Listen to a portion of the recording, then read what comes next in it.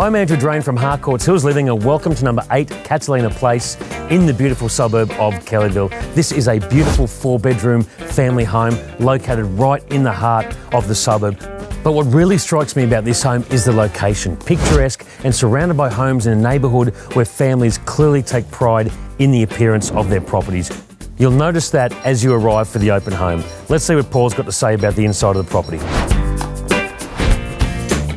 Now, for those who love entertaining and see themselves as an aspiring chef, this home has got it all. Whether it's this magnificent kitchen with six burner gas stove, the butler's pantry with services room attached, or the way that it flows out into your meals area, the living room, round to the rumpus, outside to the alfresco dining, the pool in the backyard, all of which allows you to stay totally connected to the whole family.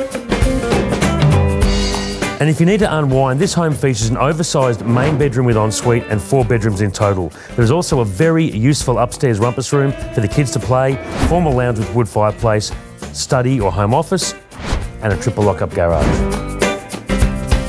Although peacefully located, this home is central to local shops, restaurants, walking paths, and only minutes to Bernie Mullane Sports Complex.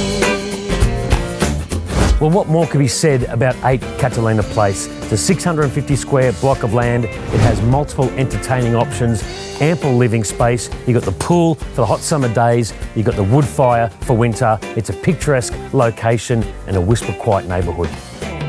I'm Andrew Drane. That was Paul Moriarty. We're from Harcourt Hills Living, and we'll see you at the open home on Saturday.